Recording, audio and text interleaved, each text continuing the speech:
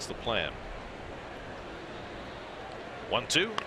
Tap to the left side. Segura's got a long way to go, and he has no play. It's an infield hit, and a run comes in.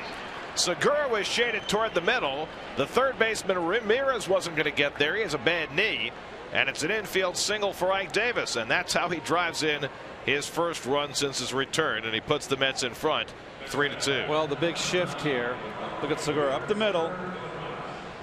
And that enables Ike to get the base hit. Ramirez has got to go after that ball. Ramirez and out in front. I'm seeing Ike still out in front, reaching a little bit there. He was 0 2.